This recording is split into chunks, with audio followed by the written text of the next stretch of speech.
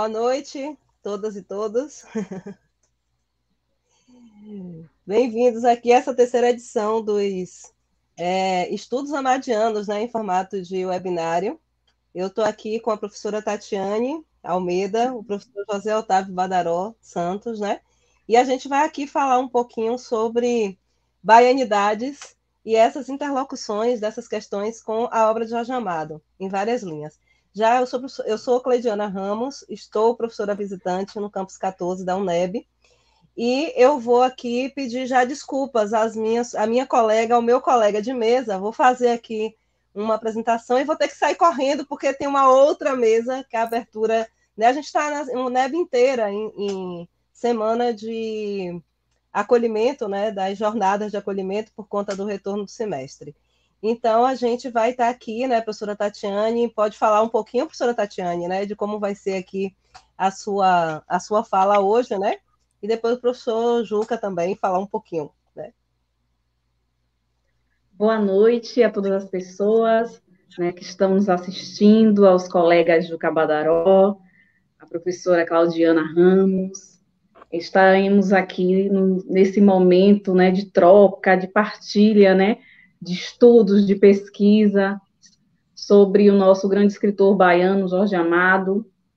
Desde já aqui, é, eu deixo registrados os meus agradecimentos à UNEB, ao professor Judeci Leite, pelo convite mais um ano, né, para participar desse evento maravilhoso, em que a gente se permite, né, a gente é, utiliza esse espaço né, para compartilhar saberes, essas trocas, essas, essas, esse trabalho que a gente desenvolve em torno desse autor que tanto deixou um legado de suma importância para a cultura, para a literatura, para a identidade é, do nossa Bahia, do nosso país. Bom, é, professora Claudiana gostaria de iniciar agora, nesse momento, ou já sim, professor Juca, só da boa noite, né, professor Juca? já estou assim, chamando de professor Juca, tá Juca Badaró, né? Então já estou chamando. Fique à vontade, pode chamar de professor José Otávio, professor Juca Badaró. Mas o nome é José Otávio, mas eu sou mais conhecido como Juca, as pessoas me chamam assim. Enfim, eu queria dar boa noite a todas e todos, ao público que está presente, que está chegando aqui na, em nosso encontro. Dar uma boa noite especial à professora Cleidiana Ramos, à professora Tatiane Ferreira, é, agradecer né, a, ao convite aqui de estar nessa terceira edição. Eu participei das outras duas anteriores e é, é sempre muito bom estar aqui com vocês, pesquisadores da obra de Jorge Amado. Eu também pesquiso Jorge Amado desde a graduação. E, então, assim, tem uma relação também muito, é, de, muito de muita paixão pela obra dele, de muito, de muito, de muito entusiasmo né, por, todo, por tudo aquilo que envolve a obra desse escritor baiano. Então, só queria agradecer dar boa noite a todas e todos e dizer que estou à disposição aqui para esse papo maravilhoso de hoje. Então, já começar aqui também agradecendo ao professor Judeci e à professora Felizmina, né, que eles estão aí há anos, né, nessa organização desse evento, né? Então, já vou começar aqui os trabalhos, tá? Então, já pedi aqui para o pessoal do apoio, o professor Judeci, que está aí no apoio, para o slide, né? Exibir o slide para a gente poder conversar um pouquinho eu, na verdade, né, é, essa minha relação, eu não sou uma pesquisadora uh, da obra de Jorge Amado. Na verdade, Jorge Amado entrou né, na minha pesquisa de para a tese, que resultou na tese, né, uh, sobre festas. As 13 festas que são uma espécie de aquecimento para o Carnaval de Salvador, que estão organizadas no calendário de verão. E por que, que Jorge Amado entrou nessa, nessa história? Né? Porque é, eu estava entre eu, na verdade, essa tese dialoga com. É uma, foi uma tese do, do programa de antropologia da, da Universidade Federal da Bahia, e ela, na verdade, tem uma relação com a antropologia da festa, com a antropologia da imagem, e ainda estava ali naquele momento de qualificação de pesquisa, faltando alguma coisa, né? Tinha alguma coisa. E eu fui perceber né, que ela tinha que dialogar também com a teoria do jornalismo, porque essa, esse trabalho ele se baseou numa documentação do Centro de Documentação do Jornal à Tarde, o CEDOC à Tarde. Então, era mais ou menos 7 mil PDFs de reportagens de 1912, que é o ano de fundação do jornal, até 2016, que foi quando eu fui fazer o campo, e uma coleção de 2.690 fotografias. E, é, numa conversa com o professor Cláudio Luiz Pereira, é, um intelectual brilhante, foi meu orientador no mestrado, e a gente estava discutindo algumas coisas que eu tinha ali. E ele, a gente estava discutindo exatamente uma das questões que viraram, que virou, desculpem, um capítulo da tese, que é exatamente a reivindicação que Salvador faz de ser uma cidade festiva, uma das muitas identidades com que Salvador vai jogar e jogar muito com essa identidade cidade da festa, ou cidade festiva. E a gente começou a conversar, na verdade, Cláudio se lembrou do livro de Hemingway, né? Ernest Hemingway, que é Paris é uma festa. Porque a ideia de construção do que seria uma cidade, né? Que identidade essa cidade teria? No caso de Paris, a cidade que acolhe os intelectuais. Né? Ele diz em um momento, por exemplo, que não poderia um escritor como ele, um aspirante a escritor pobre, é, só em Paris, né? Para que isso se concretizasse, ter acesso a bibliotecas, etc. E aí, é, eu me lembrei, é, e tem um livro de Jorge Amado, O Bahia de Todos os Santos, Guia de Ruas e Mistérios, né? E uma parte considerável desse livro, não apenas ele fala de festa, mas ele vai também construindo um discurso sobre o que seria essa cidade da Bahia, né? E é um discurso que está presente em muitos desses agentes do campo festivo da Bahia, principalmente os intelectuais. Esse campo das festas ele tem o tempo inteiro uma série de disputas sobre quais modelos são os ideais. É sempre um jogo entre a tradição que tem que ser preservada e as festas continuam mudando desse jeito, e sempre tem alguém que vai defender um ou outro modelo. E também, claro, as tensões sobre o protagonismo, né? Quem vai controlar essa festa.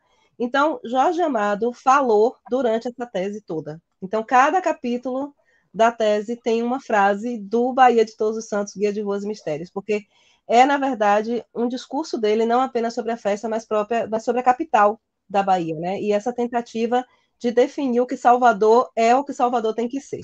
Tá? Então, o próximo, por favor.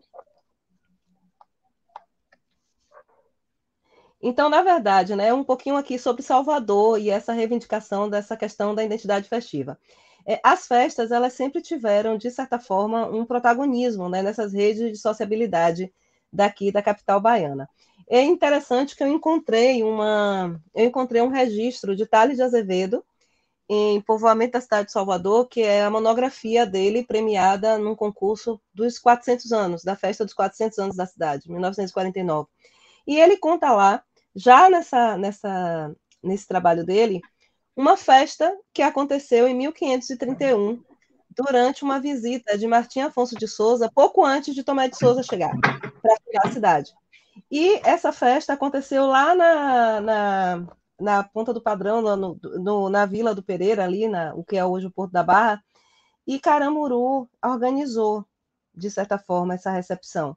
Convidou vários representantes das comunidades indígenas né, uh, presentes né, por aqui. E aí a festa né, acontecendo lá, fizeram corrida de canoa, etc. Tudo bem, né? Me lembra muito quando, quando parece quando tem aqueles babas, e de repente isso virou uma grande confusão, inclusive com mortos. Né? A festa virou uma briga generalizada. Né? Então, de alguma forma, né, Salvador já tem ali uma, uma, uma, uma predisposição né, de, de fazer tudo dessa forma, né? Tudo, está tudo muito misturado. É, não tem separação entre nada, né? A gente às vezes pensa na festa assim, como se ela fizesse uma separação é, de mundos e, na verdade, não, está tudo ali, né? Todas as nossas questões do dia a dia. E a outra, né, uma relação muito antiga de Salvador com festa, é que, por um triz, o dia de fundação da cidade, que é uma convenção, não foi exatamente a data da primeira festa na cidade oficial, 13 de junho de 1549, quando aconteceu a festa de Corpus Christi. Então, essa era inclusive a reivindicação de Teodoro Sampaio, que já que não se sabia qual era o dia do aniversário de Salvador, que então a data é, fosse o 13 de junho. Né? Mas aí a outra, a outra sugestão venceu, que é a data do desembarque, o 29 de março. Então, quase que Salvador também comemoraria seu aniversário já sob o signo de outra festa. Podemos ir para o, o, para o próximo. Não dá né, para a gente precisar Exatamente, né? É, às vezes as pessoas perguntam, né? Quando é que começa essa ideia de, de festa, de qual é? Não dá, não dá, porque são muitos agentes, é, são, muita, são muitas questões envolvidas nessa ideia da cidade festiva, não dá para a gente fazer um marco. Mas é, tem muitos agentes e são fundamentais. Assim, alguns a gente consegue mapear. Esses chamados intelectuais, as comunidades, principalmente as comunidades afro-brasileiras, né? seja do candomblé, seja uh, os afoxés, sejam outros movimentos, outros movimentos das comunidades afro-brasileiras, elas estão envolvidas o tempo inteiro nesse campo da festa e na disputa por ela. Né? É, a Igreja Católica, claro, porque todas essas festas, elas são afro-católicas, elas têm um fundo, né? É, inclusive uma definição do professor Deb Serra, o largo, né? Então é uma coisa muito nossa, muito baiana, essa coisa do largo. A festa começa na igreja e vai para o seu entorno, pro, vaza para o largo, né? As irmandades, né? As irmandades todas, né? Elas estão envolvidas, todas as irmandades faziam festas. Eram grandes eventos na cidade a imprensa e depois a mídia. Inclusive, muitas vezes, essas duas instituições, né, mídia, porque quando a gente coloca os meios eletrônicos, ela já deixa de ser só imprensa, né?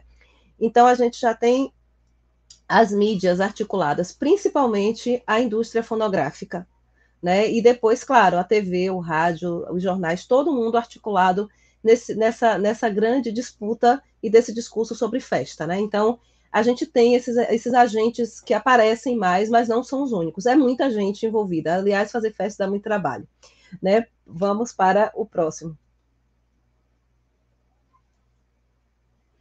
Aqui tem pelo menos três figuras, né, que eu vou tentar destacar aqui muito rapidamente, né, que eu vou destacar nessa categoria do que seriam esses intelectuais. Claro, Jorge Amado, porque ele lançou é, Bahia, é, Bahia de Todos os Santos, Guia de Ruas e Mistérios, exatamente 1940, a década de 40 não é que começa, mas ela é muito especial é, nesse sentido. Acontecem muitas coisas no campo dessas festas de Salvador. É um momento em que há muitos estrangeiros, inclusive intelectuais estrangeiros, fazendo trabalhos, principalmente sobre o candomblé. Então, é, Pierre Verger está chegando, né, para primeiro fotografia, depois escrever também, mas Roger Bastide, é, tem muita confusão, com, com essa atração. A própria, o, o pessoal de Chicago tinha acabado de passar, então o Donald Pearson, que faz um trabalho mais na área étnico-racial, mais Ruth Landes, que foi fazer um trabalho sobre o mundo do candomblé, principalmente com recorte de gênero, né? o próprio Lorenzo Turner, que também estava nesse mundo e que está muito dedicado também às manifestações culturais. Então, muitos intelectuais, mas esses três são muito interessantes. O primeiro, Jorge Amado, ele foi exatamente nesse período que ele publicou Bahia de Todos os Santos, Guia de Ruas e Mistérios, né? E que ele vai dizer coisas que vão ser muito uh, usadas, principalmente pelo Estado baiano, a partir da década de 70. Então, a cidade de Salvador como lugar do mistério, da magia. Né? Então, quando ele diz é, se você, se sua cidade é Londres, Paris, Praga, e começa a citar várias cidades do mundo, no momento que você chegar na cidade da Bahia, esqueça né, todas essas cidades. E aí vai dizer o que, que Salvador encanta, né? Vai falar sobre Exu, o Padê, cada rua tem um, cada esquina tem um mistério, né? Então ele jogar com essa ideia da cidade antiga que mesmo naquela, naquele momento em que ela caminha para a modernidade, digamos assim, ela ainda mantém muito disso. Ela não quer perder isso, né? Essa essa ideia do antigo, essa cidade especial que foi a capital, que é tanta, que pode ser tantas coisas, né? Mas sempre ligada a essa ideia de um lugar completamente diferente de qualquer lugar do mundo, né? Então Jorge Amado lançou esse livro exatamente nesse período. O outro é Dorival Caymmi, que também está começando lá na Rádio Nacional, né, sua carreira, e aí para cantar sua ideia de, de Bahia, e Salvador como se fosse a Bahia toda, né? Eles todos estão assim, né? Como se fosse a Bahia toda. E o outro é Stephen Zweig. Né? Esse, esse Stephen Zweig era um, um intelectual mesmo, ele é famosíssimo, né? Era uma figura celebrada no mundo inteiro e que ele veio para o Brasil, ele estava em exílio pelo mundo por conta do nazismo, ele tinha ascendência judia, né? E aí ele está fugindo dos horrores lá da, da, da, do, da ascensão do nazismo na Alemanha e veio para o Brasil para escrever um livro chamado Brasil, um País de Futuro. E é, Zweig, Zweig vai traduzir a Bahia neste livro exatamente a partir da festa do Bonfim. Né? Então, podemos passar aqui para ver algumas dessas, rapidamente algumas coisas dessas três, desses três personagens primeiro. Então, aqui, um trecho né, de Bahia de Todos os Santos, Guia de Ruas e Mistérios, que Jorge Amado diz ali que de tão difícil e cruel a vida parece impossível, e, no entanto, o povo vive, luta, ri e não se entrega. Faz suas festas, dança suas danças, canta suas canções, solta sua livre gargalhada, jamais vencido. Então, assim, uma ideia do que é para ele essas festas. Podemos ir para o outro, que é também um trecho do livro dele. E quando a viola gemer nas mãos do seresteiro, na rua trepidante da cidade mais agitada, não tem as moças um mínimo de indecisão. Atende ao chamado e vem. A Bahia te espera para a sua festa cotidiana. Então, tanto Jorge Amado como os outros que vão seguir, eles sempre vão estar jogando com essa ideia de é uma cidade pobre, uma cidade sofrida, com muitos problemas, mas é, é uma cidade que consegue transcender isso por meio da festa, né? por meio da celebração, por meio dessas suas manifestações culturais e, claro, todas as manifestações culturais ligadas à herança africana afro-brasileira, se a gente pode dizer assim, né? Podemos ir para o próximo. Aqui é Caíme, né? Então, Caíme já estava na Rádio Nacional, ele foi para o Rio de Janeiro, teve uma rápida passagem por O Jornal, é, como repórter, ele não queria, ele queria realmente cantar, né? E aí conseguiu, porque o, o jornal fazia parte da cadeia dos Diários Associados, de Assis Chateaubriand, o primeiro grande conglomerado de mídia, e Caíme foi lá, conseguiu ir para a Rádio Nacional. E eles, né, já em 1944, o Walt Disney, ah, os estudos Disney, né? Desculpa, os estudos Disney, eles estavam entrando na América Latina e resolveram fazer um filme chamado The Three Cabaleiros e escolheram é, o México e o Brasil para apresentar a América Latina para o resto do mundo. E aí o Pato Donald foi aqui recepcionado por dois personagens, é Carioca, que é o representante brasileiro, o Papagaio, e Panchito, o galo vermelho, que é o galo símbolo do México. E aí o Rio de Janeiro é que entrou no filme. Mas, de repente, no meio do filme, né, que é uma animação com participação de pessoas, a irmã de Carmen Miranda está nesse filme também, quem é que aparece? É a Bahia, Salvador, e aí é... E aí é a, a canção, né? Você já foi à Bahia, de Dorival Caymmi. Inclusive, eles cantam em inglês. Você já foi à Bahia? Não, então vá. Né? Então, é a canção de Caymmi você já foi à Bahia, nesses estudos dizem. Então, assim, nós estamos sendo apresentados ao mundo como parte de um, do que seria esse imaginário. E exatamente nessa animação, a Bahia aparece nesse contraponto da cidade antiga, com seus casarões. Tem outras canções também, né? mas a Bahia é, é, é apresentada dessa forma. Podemos ir para o terceiro. Stephen Zweig né, é muito interessante, porque ele essa passagem de Stefan Zweig foi tão foi tão foi tão fulgurante Salvador que hoje tem um, um, monumento a ele na Barra ainda, né? Ele era realmente um intelectual muito famoso, né? Eu não consigo nem imaginar, acho que seria como se Levi Strauss estivesse aqui, é algo assim. O jornal, o jornal faz matérias e mais matérias sobre ele, e depois ele vai lá e publica esse, esse livro. 50 anos depois, de, é, 40, quase 40 anos depois da passagem dele, isso ainda reverberava, principalmente em relação ao que ele viu da festa do Bonfim. E é interessante porque se a gente apagar a assinatura do que ele escreveu sobre o Bonfim, a gente vai ficar em dúvida até se não é, por exemplo, Jorge Amado, né? ou alguém mais ou menos do período que está escrevendo, né? porque ele diz assim, havia algo de tão violentamente arrebatador e contagioso nessa lavação, cheia de gozo, que não tive certeza de que se me achasse no meio daqueles indivíduos exaltados, não agarrasse uma das vassouras. Foi verdadeiramente o primeiro acesso de loucura coletiva que vi e que se tornou mais inverossímil pelo fato de ocorrer numa igreja, sem uso de álcool, de estimulantes, sem música e em pleno dia sob um céu magnífico e radiante. É um trecho da, sobre a Bahia, de Brasil, um país do futuro. E Zweig, depois dessa publicação, alguns meses depois, ele se matou ao lado da mulher, em Petrópolis, no Rio de Janeiro. Né? A carta dele é uma carta extremamente dolorida, né, da despedida dele, mas ele diz exatamente que ele não tem mais forças para atravessar aquela noite escura, que na verdade é a ascensão do nazismo. Né? Então, tem esse desfecho trágico, mas ainda reverbera, inclusive, o que ele viu como modelo para aquela festa. Podemos passar, né?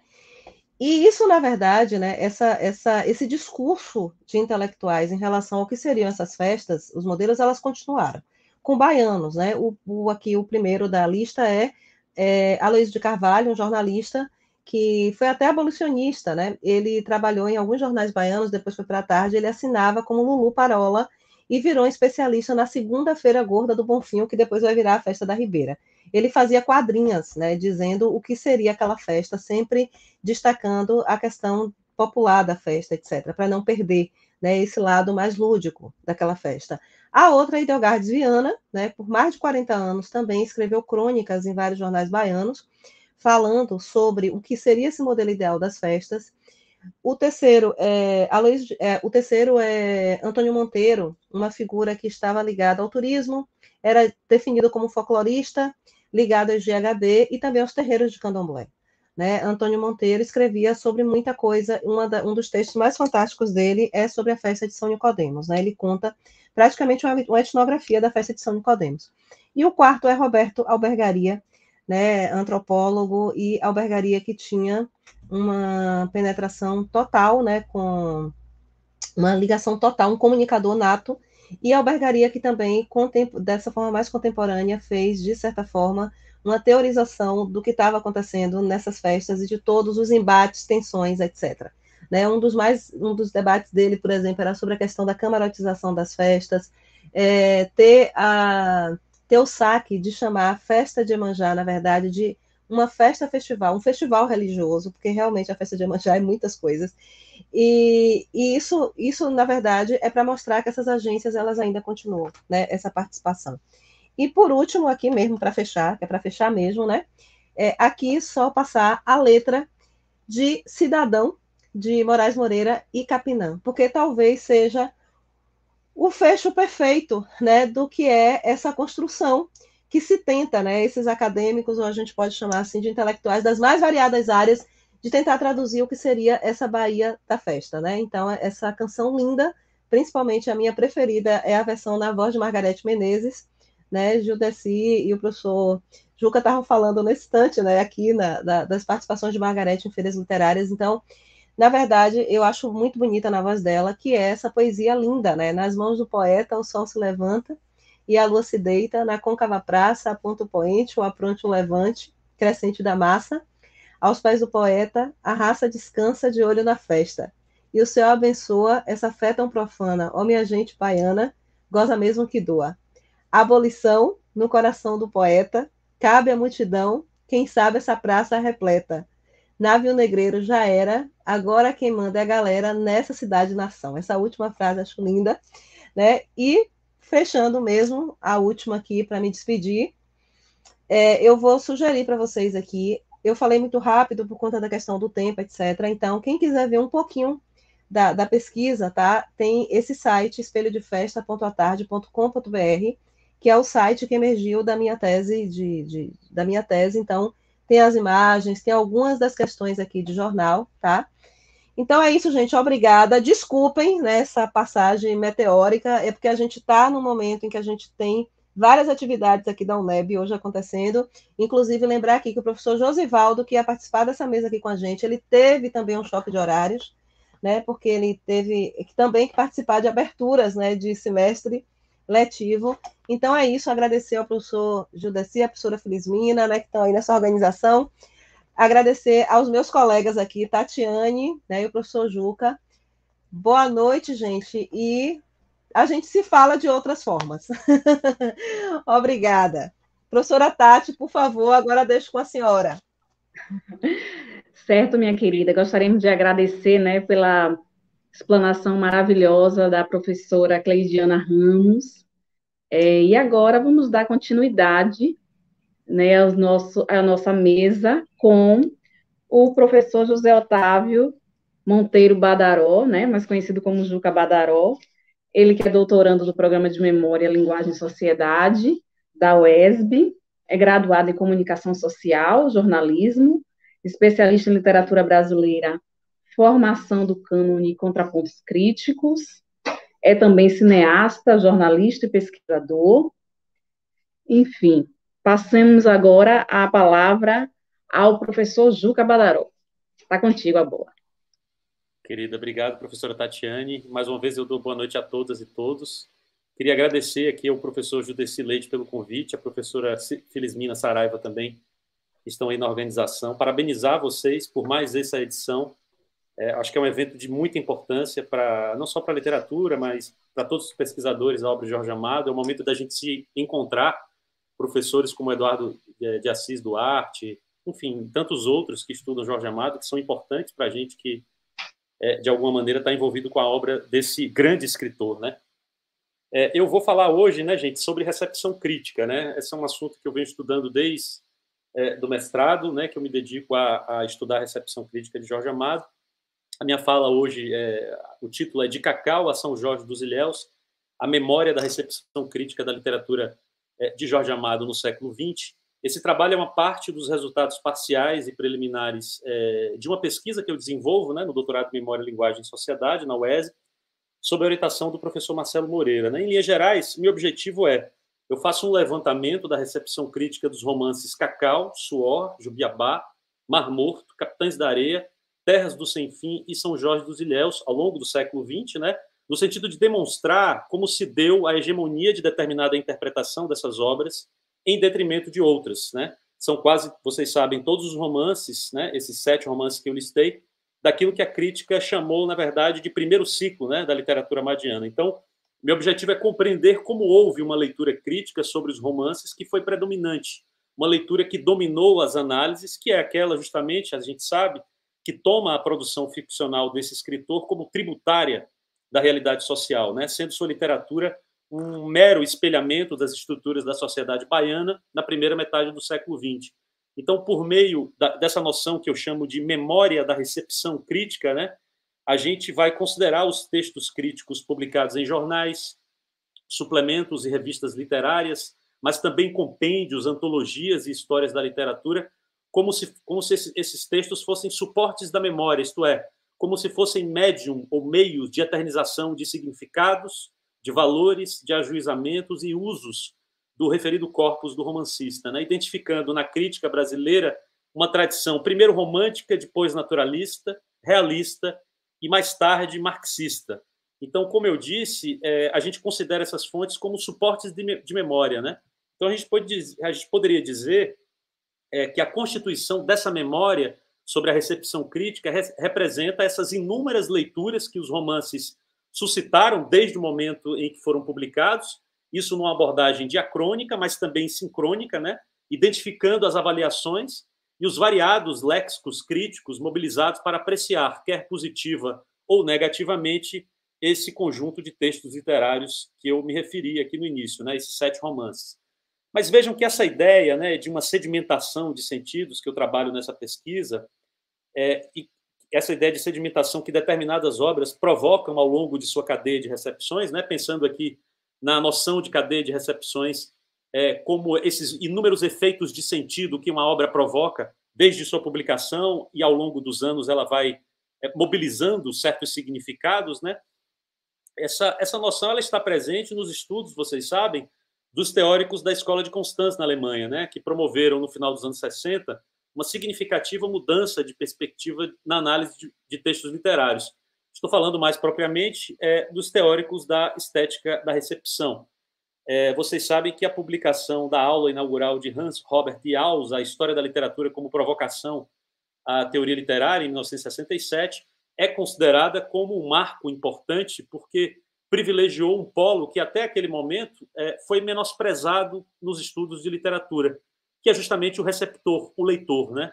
Então veja, na contramão da tradição histórica que favorecia autor, obra e muitas vezes o gênero, o Jauss né, defendia que a experiência estética é, antes de mais nada, um efeito experimentado pelo leitor, não algo constituído e definido a priori, mas aquilo que se produz justamente no ato da leitura. Então, assim, a gente tem a figura do receptor como aquele que passa de agente passivo para ativo nas discussões sobre o objeto literário. Pouco tempo depois do Jauss, é, vocês sabem que o, o colega dele, né, o Wolfgang Iser, publicaria em 1970 um texto chamado A Estrutura Apelativa dos Textos, dando corpo a essa teoria do Jauss, é, causando um, também um grande impacto sobre duas correntes de interpretação da literatura que, naquele período, dominavam os estudos críticos, né, que é justamente o marxismo literário, de um lado, e, do outro lado, o chamado estruturalismo. Né? Então, vocês poderiam até me perguntar é, por que escolher o leitor e a perspectiva da recepção para analisar os romances de Jorge Amado, né? Esses romances que eu me referi desse primeiro ciclo da literatura madiana, né? Quer dizer, os estudos de recepção, na verdade, eles me ajudaram a evitar duas maneiras, né? Duas maneiras que, ao meu ver, são pouco satisfatórias e, e, em alguns momentos até irrefletidas, de interpretar os romances de Jorge Amado. A primeira tem a ver com a ideia de que a biografia do escritor, né, suas escolhas políticas, suas escolhas ideológicas, bem como seus traços psicológicos, eles fossem capazes de explicar é, o fenômeno literário. Uma postura dessa natureza desconsidera aquilo que é específico do objeto literário, ou seja, a noção de que a literatura ela possui sempre seu estatuto próprio, de que a obra literária, ela na verdade verbaliza algo que não existe fora dela, e, portanto, é indispensável a utilização de seus próprios métodos para poder interpretá-lo.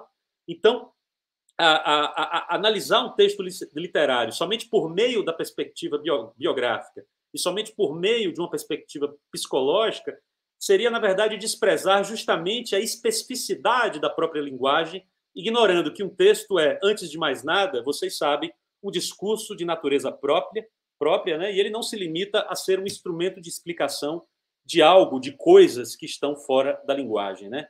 É, eu lembro, por exemplo, aqui para vocês, é, muita gente deve conhecer, um texto do Luiz Costa Lima, A Teoria da Literatura e Suas Fontes, em que o Costa Lima, vocês sabem que o Costa Lima foi um, um grande tradutor dos teóricos da Escola de Constant, né? ele, ele traduziu vários textos do alemão aqui para o português, e ele dizia, o Costa Lima, que, que tomar a literatura como mero espelhamento da realidade ou documento do passado não é propriamente a postura de um crítico literário, mas a de um analista das ciências sociais, né? Então, normalmente, o sociólogo ele vê a obra literária ou a obra artística sem se preocupar com sua qualificação estética. E ele vai retirar dela aquilo que lhe interessa para dar corpo à sua tese, sempre a partir de seus valores, sempre a partir de suas opiniões políticas e de sua própria metodologia de trabalho. Né? Mas o crítico literário, esse sim, precisa considerar a experimentação estética. Esse sim precisa considerar que a linguagem ela não é um mero instrumento de representação da realidade, de que a linguagem possui, na verdade, como eu disse antes, um funcionamento próprio. E é preciso considerar esse funcionamento numa análise literária, ou seja, fazer crítica literária e não sociologia. Né? Então, os estudos de recepção também é, nos ajudam a escapar de uma segunda postura diante dos romances de Jorge Amado, essa também adotada por grande parte da crítica brasileira do século passado, que é a ideia é, e vocês sabem que é uma ideia muito comum, é, muito utilizada pela, pela crítica literária, a ideia de que as obras amadianas elas, elas seriam completamente tributárias da realidade social em que vivia o seu autor, sendo a literatura uma espécie de produto acessório do tecido social da Bahia naquele período. Né? Quer dizer, diante dessa perspectiva, a gente tem, mais uma vez, é, a linguagem condicionada à noção de instrumento a serviço de uma suposta documentação do real, uma espécie de crônica social ou até de um relato histórico. Né? Dessa maneira, Jorge Amado seria, ao invés de um artista da palavra, né? um, um escritor que tem como a sua matéria-prima as palavras, ele seria, na verdade, uma espécie de historiador, de antropólogo, ou de, de sociólogo, ou até mesmo de cronista né?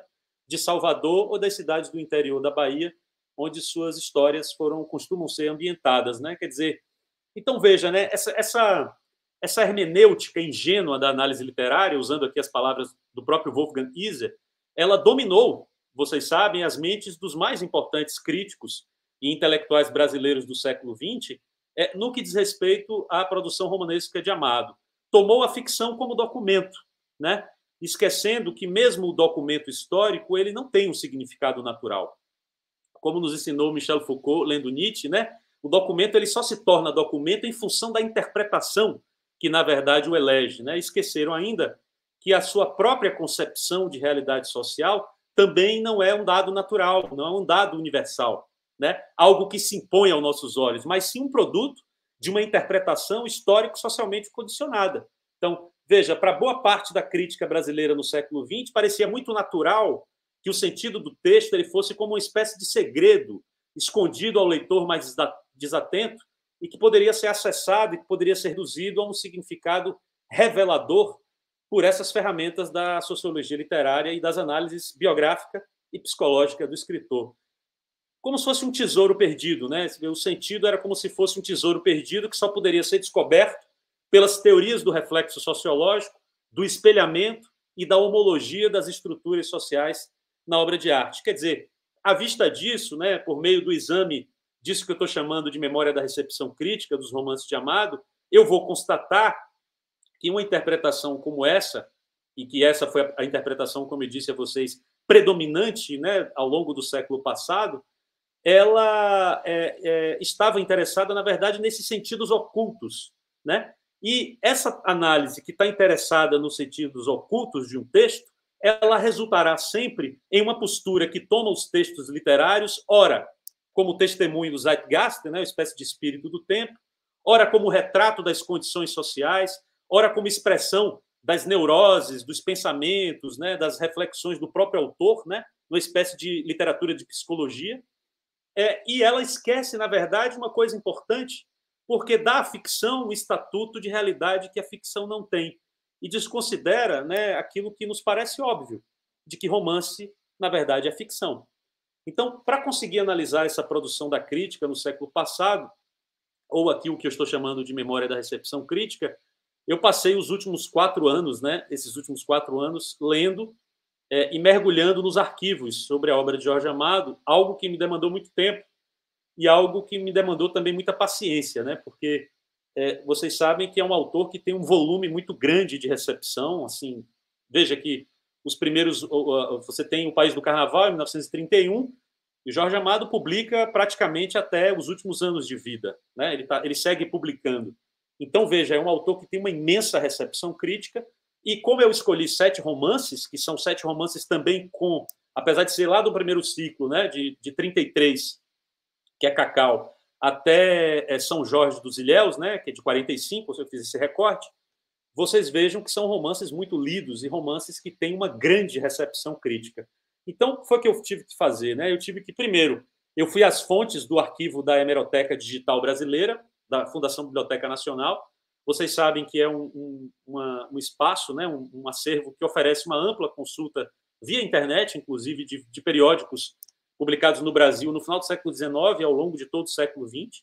Né? Você encontra ali revistas, você encontra jornais, vocês encontram ali anuários, né? quer dizer, boletins, mas uma, uma, uma, uma grande quantidade de textos é, de periódicos brasileiros nesse período nessa plataforma, por exemplo, gente, é possível ter acesso aos primeiros jornais criados no Brasil, como o Correio Brasiliense, por exemplo, e a Gazeta do Rio de Janeiro, que vocês sabem foram fundados em 1808.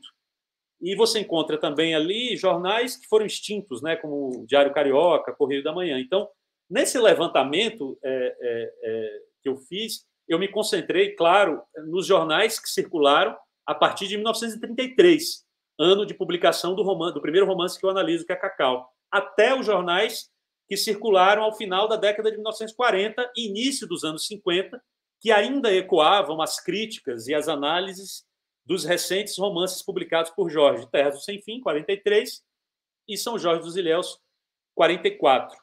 Para além do acervo da Hemeroteca Digital, eu tive acesso aos arquivos da Fundação Casa de Jorge Amado, né, relativamente aos textos críticos que eles têm também lá.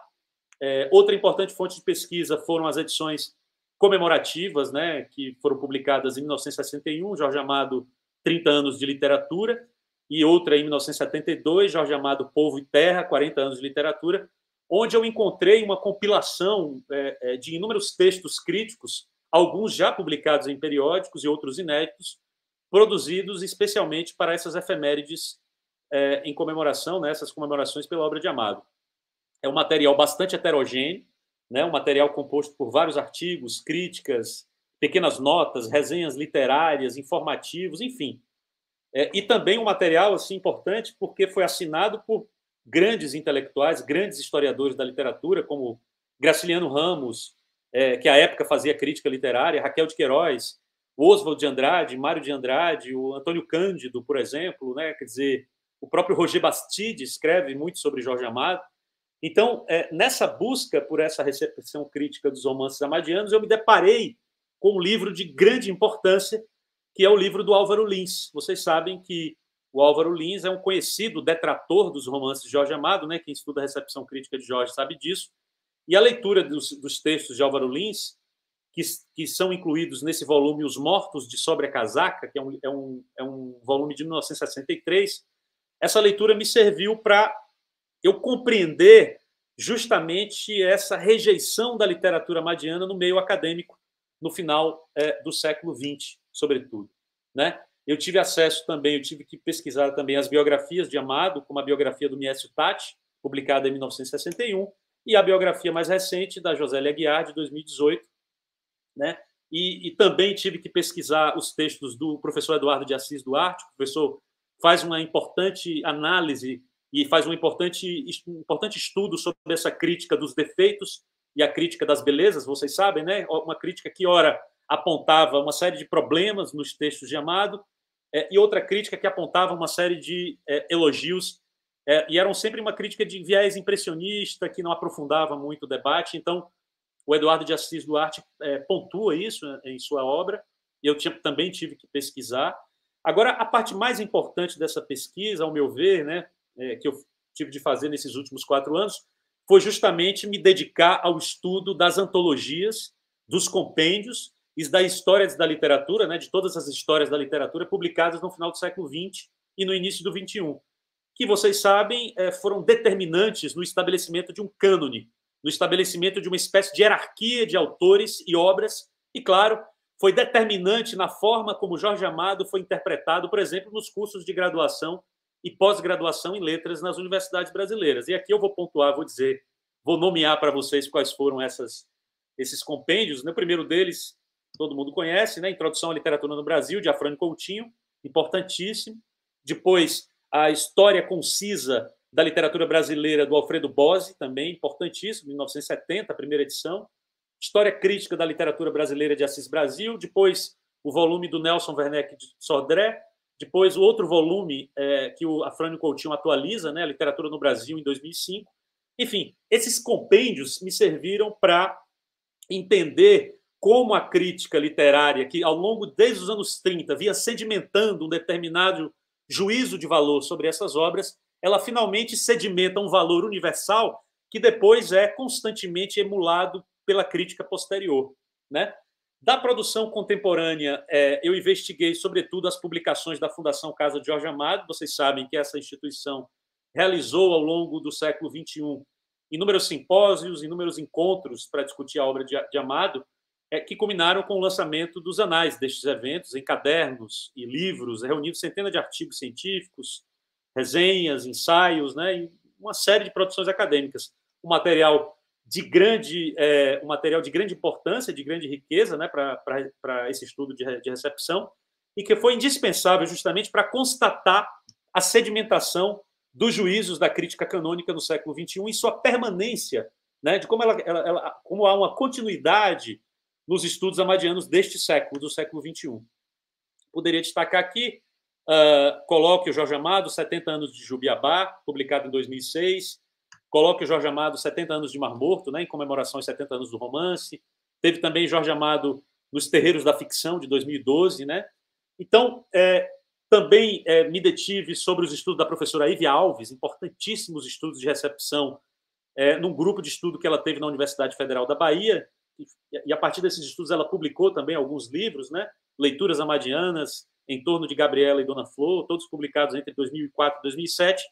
E, por fim, eu fiz um levantamento é, no banco de dados da CAPES. Né?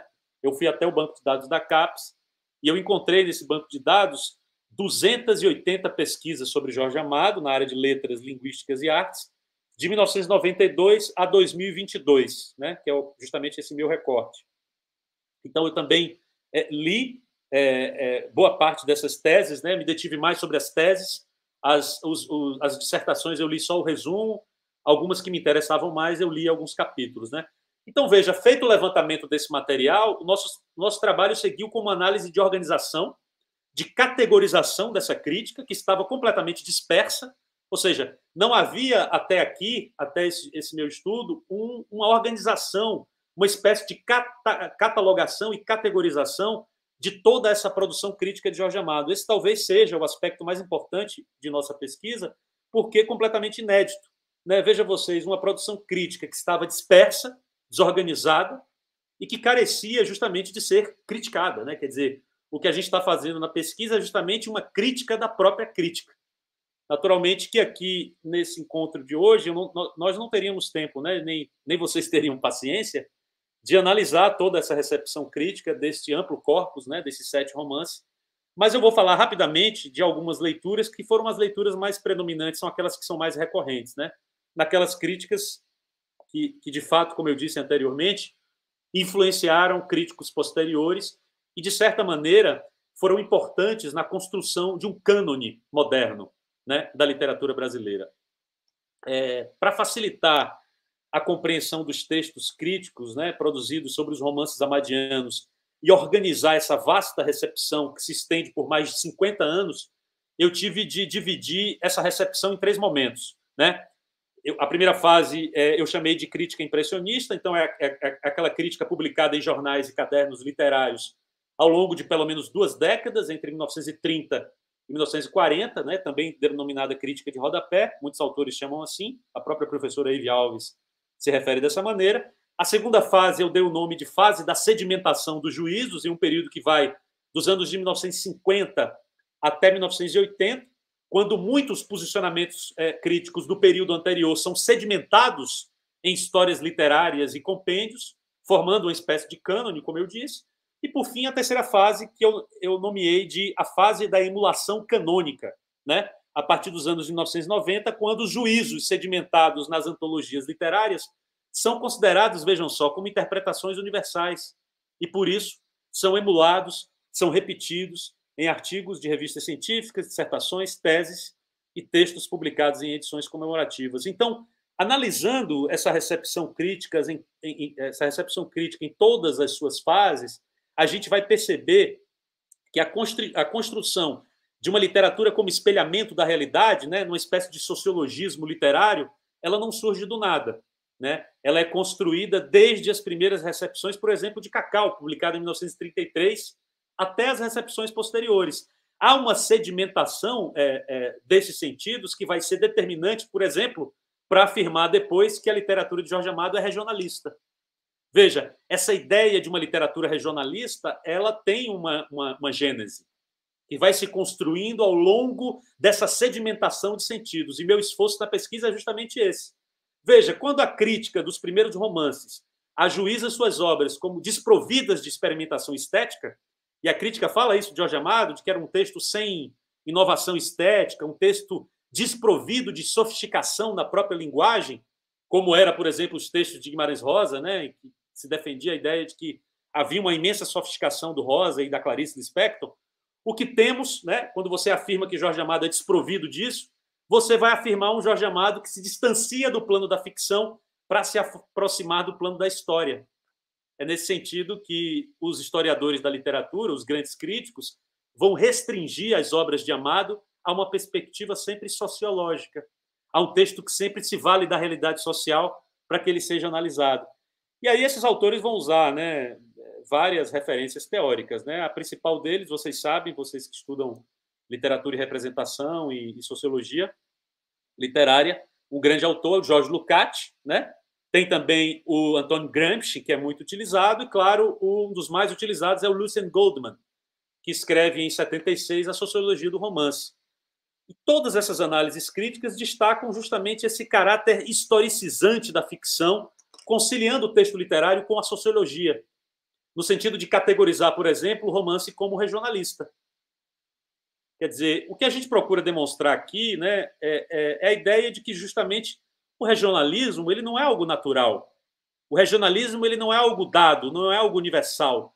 Ele, na verdade, não passa de uma categoria criada pela crítica para agrupar determinadas obras de determinados autores.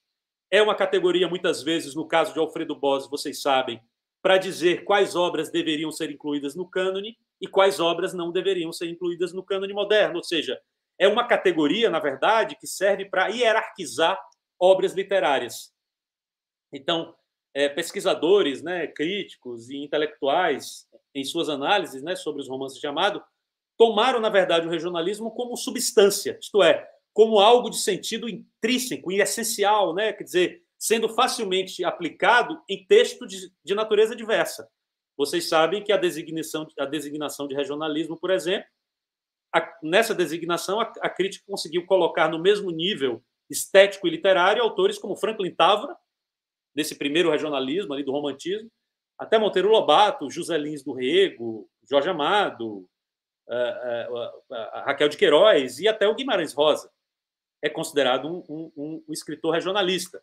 Né? Quer dizer, o pressuposto básico, é, a gente sabe, é, de que para um texto ser regionalista, eles têm de estar, na verdade, fora do eixo central de produção.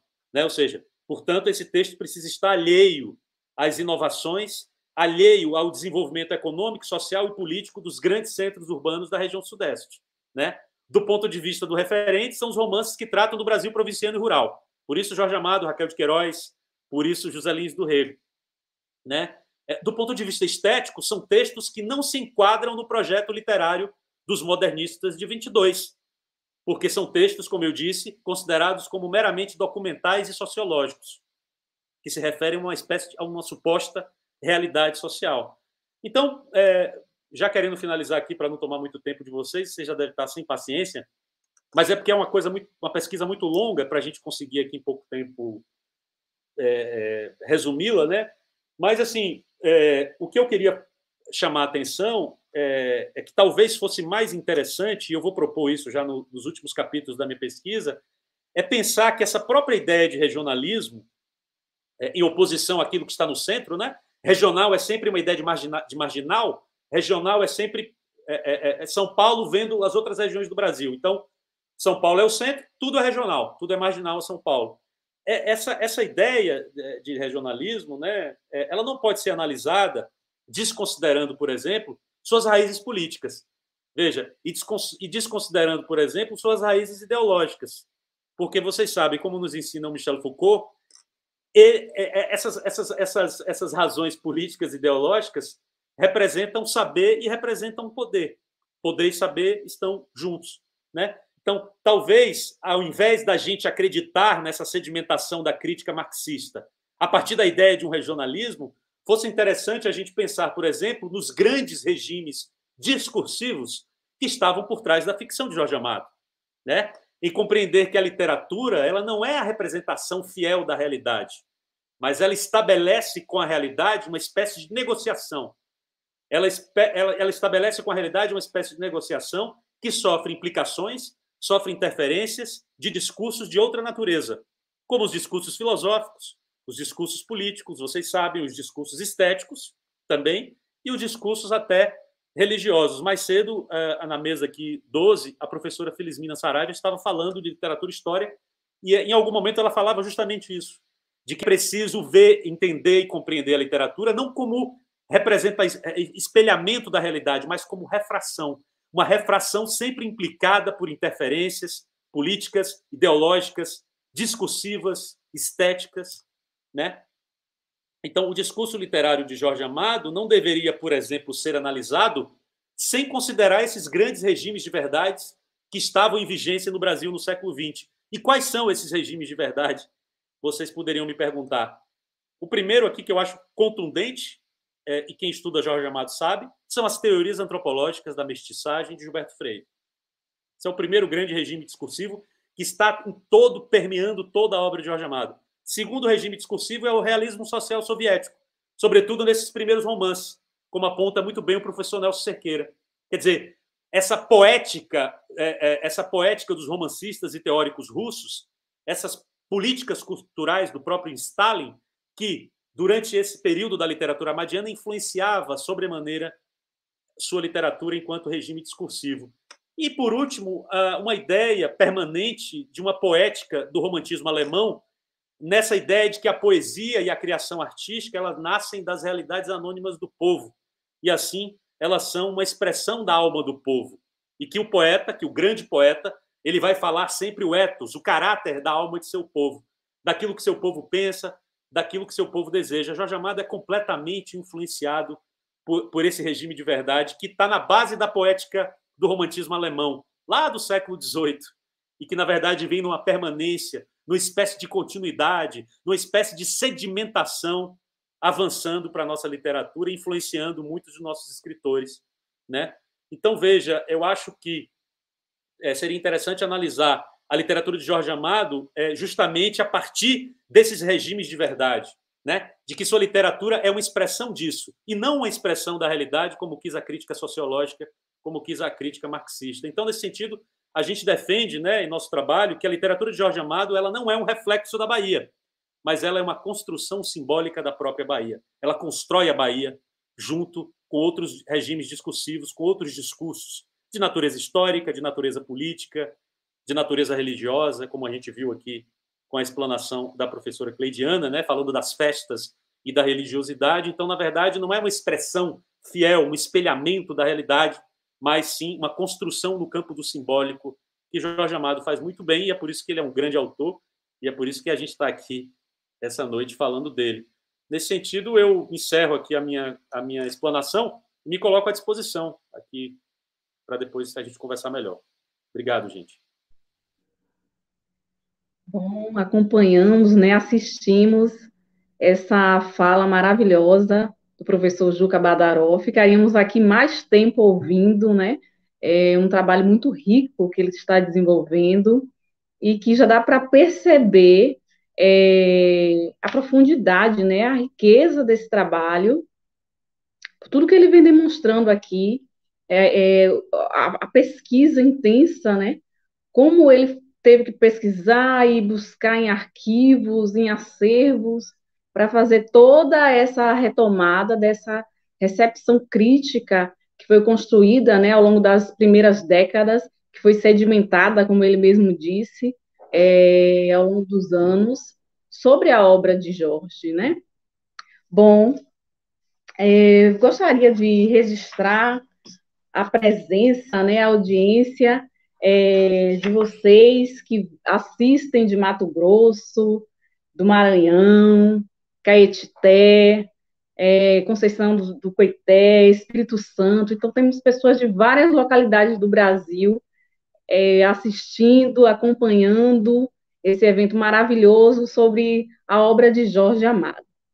Bom, agora eu vou dar início à minha fala e posteriormente a gente abre para algumas perguntas é, dos, dos, dos, dos participantes e a gente está aqui aberto para discutir, para responder às dúvidas de vocês ao final. Bom, eu vou iniciar minha fala é, sobre um recorte de uma pesquisa que eu empreendi ao longo de quatro anos também, o resultado de uma tese de doutorado. Então, eu trago aqui um pouco da, do meu estudo acerca da importância das ilustrações nas obras de Jorge Amado, né?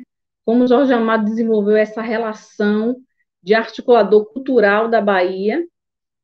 E a gente conhece esse trabalho discursivo, né, essa construção através do universo das palavras que ele empreendeu ao longo de suas obras, mas ele também contou com diversas parcerias, e aí entram os desenhistas, os artistas plástica, plásticos de forma geral, pessoas provenientes do cinema, da música, e é sobre é, essa temática que a minha fala vai é, percorrer, né, sobre esse universo da composição do projeto literário estético de Jorge Amado. Bom, o título é Ilustração como elemento de composição do projeto estético literário amadiano. O gosto pelas ilustrações e a influência da literatura apareceram desde muito cedo na vida de Jorge Amado, desde quando ele saiu de Ilhéus, por volta de 11 anos de idade, para estudar na capital baiana, mas foi no Colégio Antônio Vieira, Colégio Tradicional de Salvador, fundado pelos jesuítas, que conheceu o padre Antônio Luiz Gonzaga Cabral, quem lhe apresentou o rico imaginário despertado pela leitura literária de ilustrações. Já adulto escritor consagrado, o escritor consegue de entrevista Antônio Roberto Espinosa e lhe vem à memória o seguinte comentário do professor Cabral sobre sua redação intitulada O Mar. Abre citação. Tem uma prova aqui que eu quero ler, porque esse vai ser escritor. Fecha a citação. Que está em Gomes e Neves, 1998, página 7. O padre constantemente lhe emprestava livros de sua biblioteca particular e tinha uma predileção pela literatura em suas aulas. Lia os poemas de Camões ao invés de ensinar as regras gramaticais descontextualizadas. Sobre isso ressaltava Amado, abre citação. Sua influência sobre mim veio de outra coisa. da abertura dele, do seu não sectarismo, fecha a citação. Gomes e Neves, página 7. A sua contribuição literária para a formação do menino Grapiúna foi de suma importância e determinou escolhas e parcerias artísticas do escritor em toda a sua trajetória. Em palavras de Jorge Amado, abre citação, ele me emprestou, por exemplo, uma tradução portuguesa, magnífica, aliás, pelas ilustrações do Gulliver, de Swift, que eu li e fiquei deslumbrado, até fugir do Vieira, entre o segundo e o terceiro anos. Ele me deu a ler livros de autores como Charles Dickens, Walter Scott, Padre Cabral me fez penetrar no universo literário, aquele universo imenso. Daí eu parti para diante. Ele foi realmente um homem que confiou naquele menino. Gomes e Neves, páginas 7 e 8. Viagens de Gulliver, de 1726, de Jonathan Swift, é um grande clássico da literatura.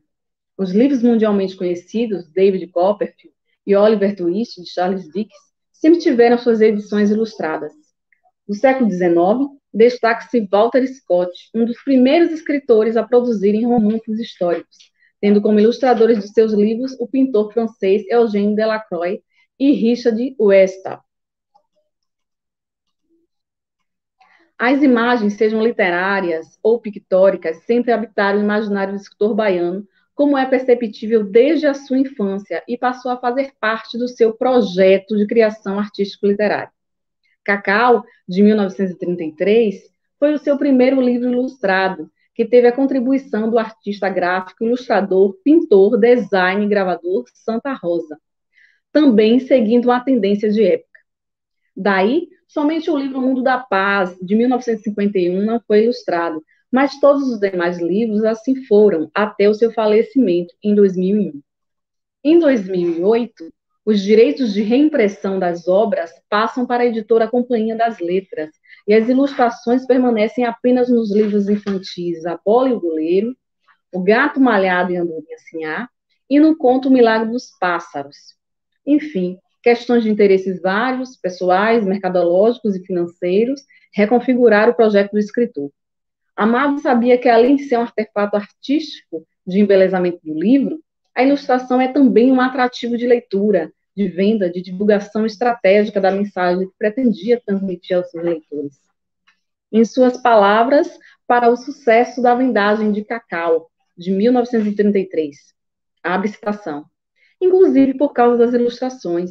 Eu me tornara amigo de Santa Rosa, que tinha chegado de Alagoas e tinha feito a capa de um livro de Raul Bopp.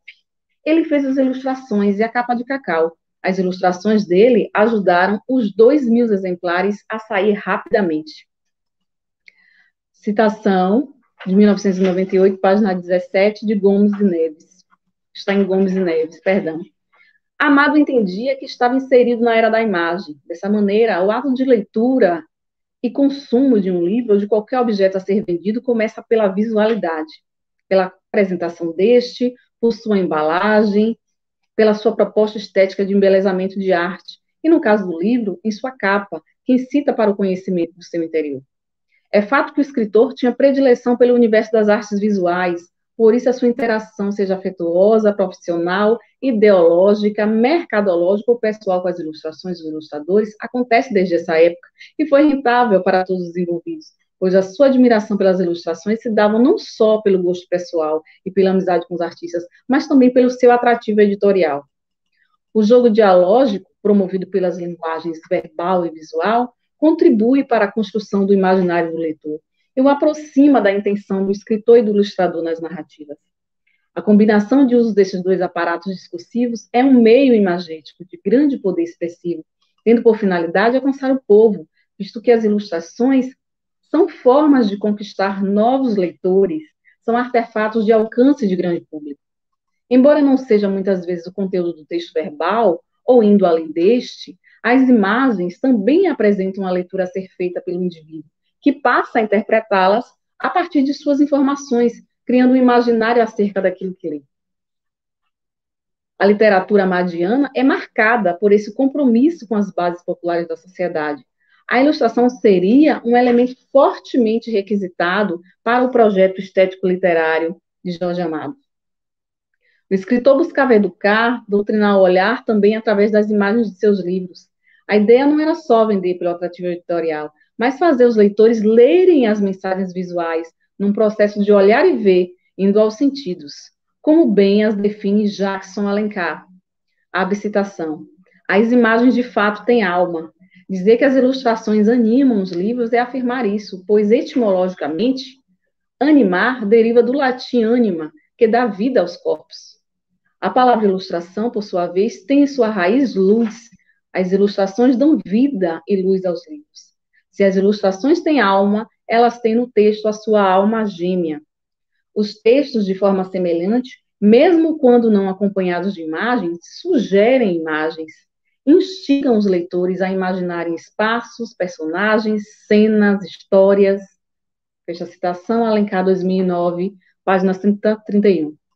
As imagens têm a capacidade de transpor barreiras que são impostas pela leitura dos códigos da escrita e de conseguir alcançar as diferentes camadas sociais. De acordo com Mangel, 1997, o livro que é ilustrado é um aparato imagético que possibilita construir um significado diante da leitura. Mesmo que o indivíduo não saiba ler, as imagens podem contribuir e podem atribuir para a construção de um sentido. A relação de Jorge com o universo das imagens inicia-se com a sua predileção pelas ilustrações desde quando era um leitor infantil e atravessa toda a sua trajetória no universo das letras expressando seu apreço pelas imagens e uma atitude politicamente engajada, o que pode ser percebido quando reconhece a sua importância como parte fundamental para a vendagem de cacau e de seu interesse em alcançar e transmitir uma mensagem ao público leitor também através das imagens. Em palavras de Miriam Fraga, para o ciclo de palestras A Bahia de Jorge Amado, em que coordenou uma mesa redonda intitulada Do Texto à Imagem, Ilustradores Amadianos, a poetisa conversa com Carlos Bastos, Caribé, Mário Cravo, Floriano Cheire, Calazans Neto, alguns dos ilustradores das obras do escritor baiano sobre a importância das ilustrações para o romancista. Abre citação. Foi a partir de Cacau, em 1933, que as ilustrações passaram a fazer parte integrante de sua obra. Não por imposição do editor ou por um capricho editorial, mas porque a relação do autor com os ilustradores é visceral e profunda. Da mesma forma que é profunda e visceral a necessidade de, cercear, de cercar-se perdão, de obras de arte que fazem de sua casa, quer esteja na Bahia, Rio de Janeiro ou em Paris, uma referência cultural, consignada de uma visão de mundo que não prescinde da beleza como uma marca de humanismo. Fraga 2000, página 190. A amizade de Amado com os ilustradores vai além de simples parcerias de trabalho, como disse a escritora e amiga do escritor Miriam Fraga, pois ele sempre se interessou pelas artes visuais, sempre foi um gosto pessoal, independente de posição editorial. Isso lhe levou a aproximar-se de, artistas das mais variadas vertentes, estilos e técnicas, tanto os iniciantes quanto os profissionais do meio, gravadores, escultores, desenhistas, artistas plásticos, fotógrafos, literatos, cineastas, roteiristas, diretores de cinema e etc. Detinha amizade com eles, ou até mesmo esses artistas o procuravam para que fizesse a apresentação de suas obras.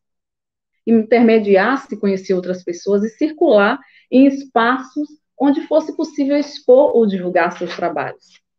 Essa capacidade de aglutinar pessoas de diferentes localidades do país e do exterior, levou à criação de um grupo de artistas que desenvolveu trabalhos que procuravam mostrar a cultura popular, a religiosidade da Bahia, o sincretismo e o legado histórico e patrimonial da cidade de Salvador.